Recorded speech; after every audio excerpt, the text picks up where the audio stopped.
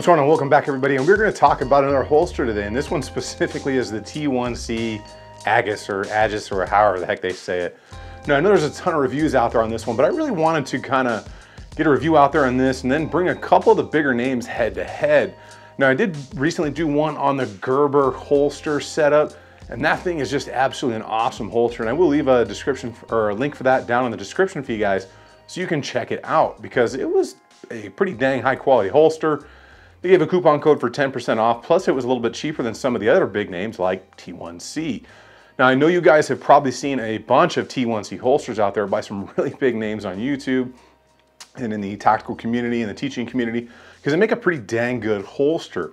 Now the one that I got is for my CZ P10C with a uh, Streamlight TLR1HL on it. And I had been waiting to kind of decide which tier one holster I was gonna get for which setup because I kind of like to do certain things with certain holsters so I know right away which one to grab based on the color it is. And then I kind of remember that. And then if I have 45 or 9, I usually kind of get certain colors so I know which what is what and keep them separate. Because if you've got multiple guns or anything and you kind of you know, rotate things in and out of the carry, you end up having multiple different holsters. So anyways, T1C is a big name out there in the holster communities, but they are easily probably gonna be one of the most expensive holsters that you're gonna buy. Um, far more expensive than some others, not much more expensive than some others, but they are definitely an innovator in the holster world and they make a good product. There's, there's no two ways about it. They really do. So what I'm wearing right now is my CZP-10C with standard capacity magazines. It's that Agus rig. So for these, those of you that don't know, that is an appendix rig. So it sits in the front and it's got the, uh, the firearm and it's got a spare magazine on the side. So it's like a sidecar, sidekick. There's so many different names for it out there at this point. Basically, it's a gun and a spare mag in a holster that sits in the front of your body. So what I want to do is go ahead, pull the uh, zoom out on the camera lens just a little bit so you guys can kind of get an overall look. Wear basic clothes for me, pair of shorts and uh, just a basic shirt. I don't wear the baggiest clothes. I don't wear the tightest clothes.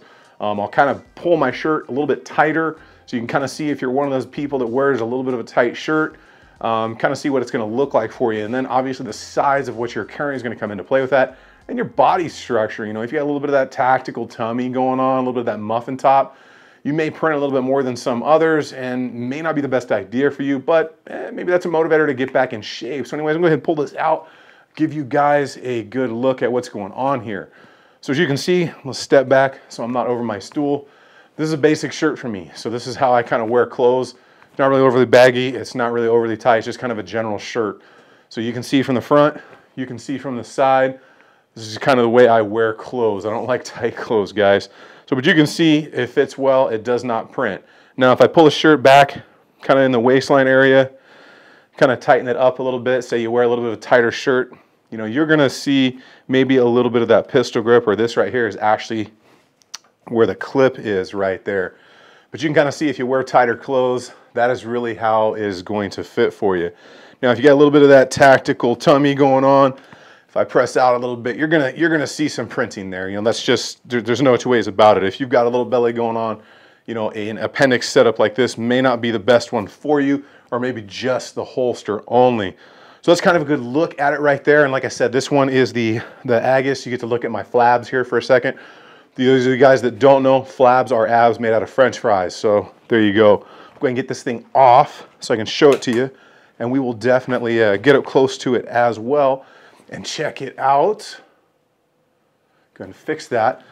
So here it is. It's, uh, it's a good design. I do like it. The magazine sits ever so slightly higher than the uh, CZ does in there. And it's a fairly good size holster because I wear uh, I wear them all now pretty much with my TLR1 HLs because it's just a very common light for me. I use it all the time at work and that's what I like. So this one, they've got it in a ton of colors for a ton of different setups with a ton of different lights for a ton of different guns. They really do a pretty good job of covering a lot of the market. CZP-10C, like I said, got that RMR, got my T, uh, TLR1HL on there. Definitely a really, really nice setup. I'm loving what CZ is doing. And then you got that uh, spare factory mag in there, and obviously it's unloaded because I'm playing with it on camera right now. So it got that kind of wolf gray color and then got that zombie green on the back, which you know, signifies a lot of my nine millimeter stuff. Good holster. They've done a really good job um, kind of making this really compact without, you know, taking away what you need to actually make this, you know, be secure and hold. I always get a full sweat guard because it's Arizona and it's hot out here. And then you can get it actually with extension. Uh, it's a little bit deeper and you can tell them what extension you have in your mags. Really cool options. They use really good fasteners um, on their stuff. So good things. Like I said, they're pricey though. They are definitely pricey. So we're gonna go ahead, we're gonna check this thing out. We're gonna get into it and show you what it's all about. So you can kind of make a decision, is T1C for you? And then like I said, I will put this holster right here head to head with some of the other names that are really big in the holster industry. Uh, and then one specifically that you know isn't as well known but makes a really awesome product as well. We're gonna go ahead and check this thing out right now. All right, the T1C. A lot of people out there rave about these holsters, the Agus or Agis or whatever. And uh, I can see why. It's a solid holster. It's also the most expensive holster I, does, I own and will probably ever buy. So this one, got from my CZ P10C. I am loving this thing. Shoots awesome. Feels good in the hand. Got that RMR on there. And that Streamlight uh, TLR1HL. Eh, different color. I don't care. It works. So obviously sidecar style design. You got your spare mag in there. Obviously everything's unloaded because we're playing with it on camera. Got this one in that gray and zombie green back there. Cool, that blows out the light, doesn't it? A little bright. So Quality setup here. Now, one of the things I look for in a holster is, are they using fasteners? The screws is what I'm talking about right there. Or are they using um, kind of those rivets, you know, those hole rivets? The hole rivet things, if anything's gonna fail in your holster, it's gonna be those. So I like companies that use mostly or completely all fasteners. As you can see here, T1C has used all fasteners and that is definitely good. They've got their claw right here. It looks like some form of ABS style plastic with their tier one logo and then their tier one logo on the belt clips as well. Um, everything else about the holster looks good, fits very, very well, locks in nicely. As you can see, this is not gonna fall out. It is not going to drop. And uh, it's gonna provide you service probably for years to come. Is definitely a good, uh, good holster. Now this is, uh, the, I think it was T1C that kind of started this whole modular two-piece design. So these are actually button snaps on there you can see right there. So you can take this apart and rock just that. Pretty awesome idea, pretty awesome design. And then a bunch of people do it now. So yeah, whatever. I guess if T1 wants to sue everybody, then they can, but they probably won't because I don't think they patented it. But a cool design. We move over into these clips here. Very nice. We do have some height adjustability right there, as you can see, which is good because some people will wear it lower, some people will wear it higher. Definitely good clips. We can see we got a little kickback right there on that clip. Now what that's going to do is help keep it tucked onto your belt. So when you go to draw this, that uh, little edge is going to grab the belt and it's not going to allow the holster to come out. Uh, the claw right there is going to actually help conceal that close into your body. Uh, and this thing does, it conceals very well as you guys saw earlier. Now they do have the uh, bottom completely closed off there for your light so you don't uh, have an issue breaking the lens or anything like that which is good. Some people like it open, some people don't like it open, completely up to you. And then if you want to, go ahead and cut your own Kydex, who cares? Good setup though, no problems with the holster. Now let's talk about the finish work on it. Um, it's good. Um, they definitely uh, put some time in the finish work.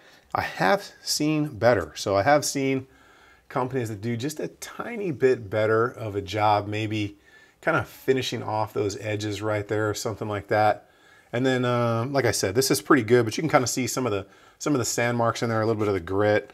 Um, wasn't quite polished off quite as nice. You can kind of see the bandsaw marks in a couple places, especially up here around the edge. I know it's very tough to see, but you can definitely see the bandsaw marks in there and stuff like that. So they could have finished it a little bit better, um, especially when you're paying 140 to 157 dollars for a holster. You would kind of expect that, but in the end, I mean, it's really hard to argue. It is a very good holster high quality stuff and materials here. Um, designed very well. I really like the fit, the angles of it, and how it sits on my body. Um, if you're fairly in shape, this is gonna be a great fit for you. Let's go ahead and uh, get back in the chair and finish this up.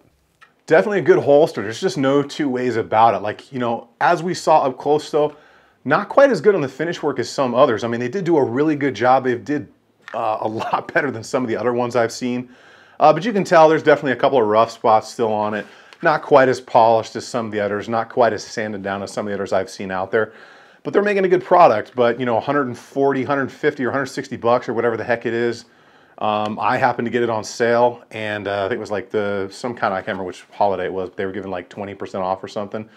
So I went ahead and bought it. I know normally I want to say this holster is like right around $150, which is probably going to be the most expensive holster that a lot of us are ever going to buy. Um, especially if you've got different uh, setups going on, you could really spend a lot of money on holsters very quickly. Uh, but it's good. I don't think you can go wrong with it. The question is, are there other ones out there that can compete with it that are a little bit cheaper? Um, you know, the I thought that initially that this part in here was going to be leather. It's some kind of rubberized something. Really curious to see what the lifespan of that is going to be as compared to leather. But the, uh, the quality of it is there. They use great hardware in there. Um, there's not rivets. Okay, so rivets are typically the things that will fail in holsters from my experience. This is all fasteners. These are all screw fasteners that can be Loctited in place once you fit it to your uh, tension and desires and all that. Really good stuff. I do like it quite a bit. I think they've got a great thing going on. They're just a little pricey. So I hope you guys like the video. Uh, if you guys like what's going on here and learning about this stuff and getting these unbiased reviews, because I'm not paid and or sponsored by these guys like probably some of the other bigger names out there that are doing videos for them. Go hit that subscribe button for me if you like the video. Go hit the like button. I will leave links down below for you uh, to their website and everything if you're interested. But if you're on YouTube, I can't put the links down there because they don't like it on YouTube anymore. Um, actually, they'll just ban you for 2A stuff uh, flat out. Uh, but I'll leave links down there for this and a couple of other ones that I've tested out. And then I'm gonna do a head-to-head, -head, like I said, with probably T-Rex, Gerber, uh, Tier 1, and then a couple of other companies out there uh, that are pretty well known in the industry.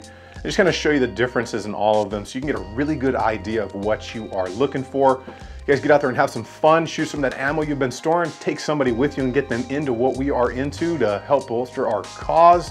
And I will see you guys on the next one.